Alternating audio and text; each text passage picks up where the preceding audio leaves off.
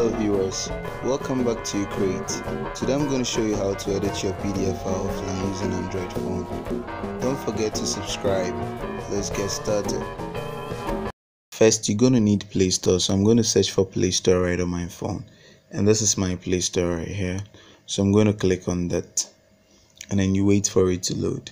At the search area of your Play Store where they've written the Google Play, you click at that area and then you type in XODO PDF like this and then you click on your search key.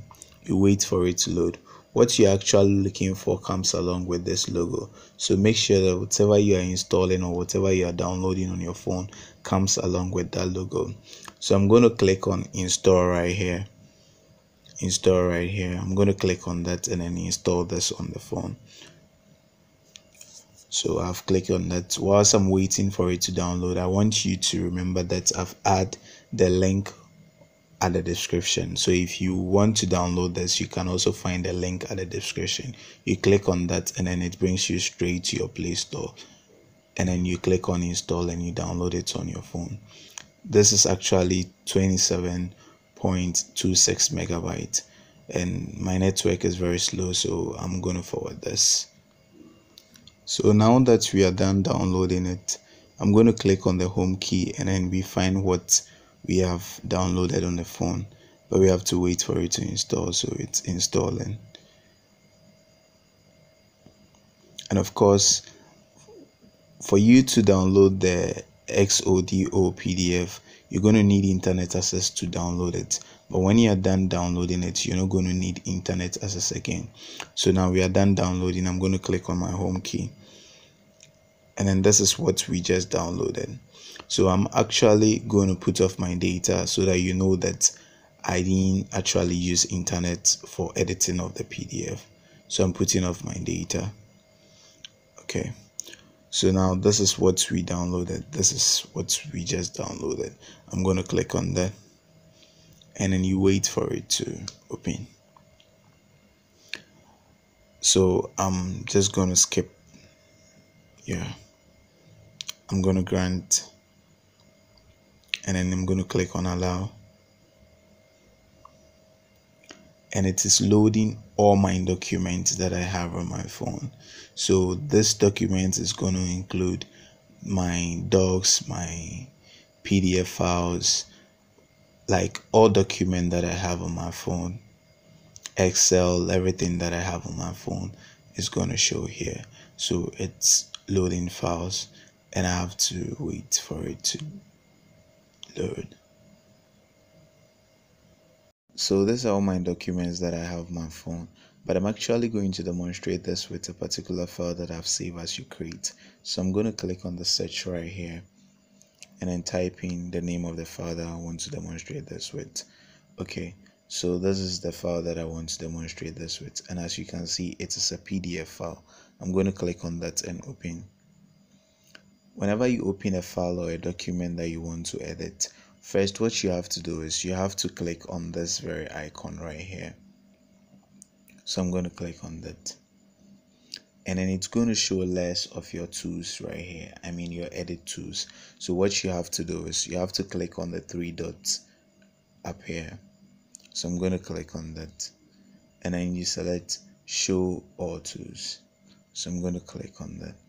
And as you can see all my tools are up here. On this document what we have on it is you create intro. Today i'm going to show you how to edit your pdf files offline using android app signature and a name. But what's they've written as intro here this is what we don't want. We want it as introduction.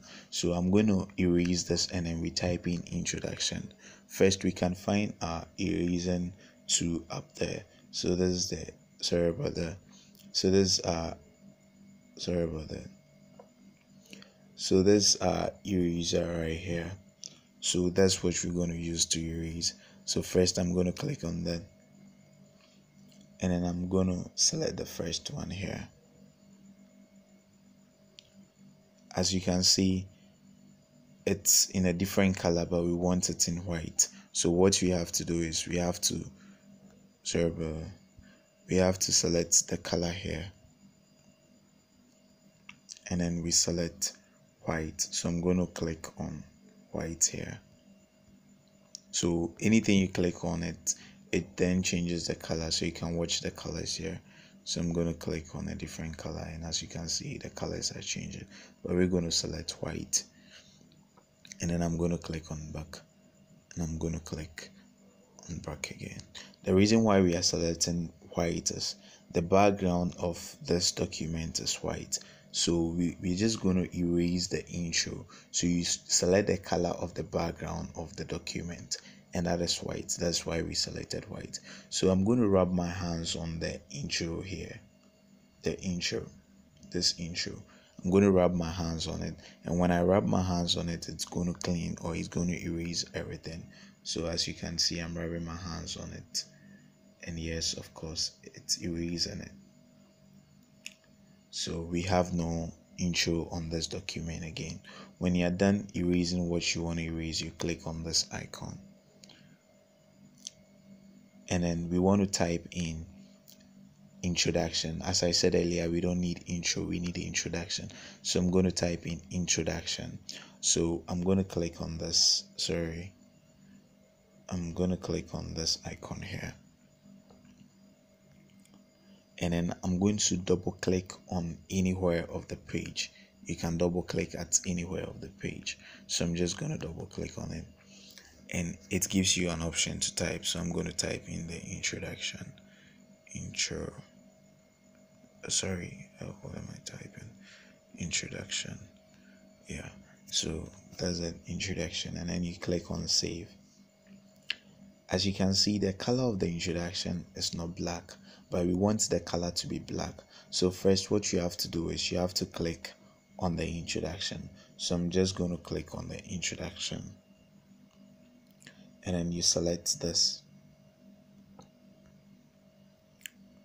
And then you click here test color. And then you select black you just go back. You can also increase the size of your test. So i'm going to increase the size of my test a little bit and then i'm going to go back. So as you can see this is my intro. Now it is black. So you you can drag it you can expand it and then as you can see i'm dragging it. You click and hold and then you drag it so you position it where you want it to be and as I said, you can drag it. Yeah. So it's okay like this.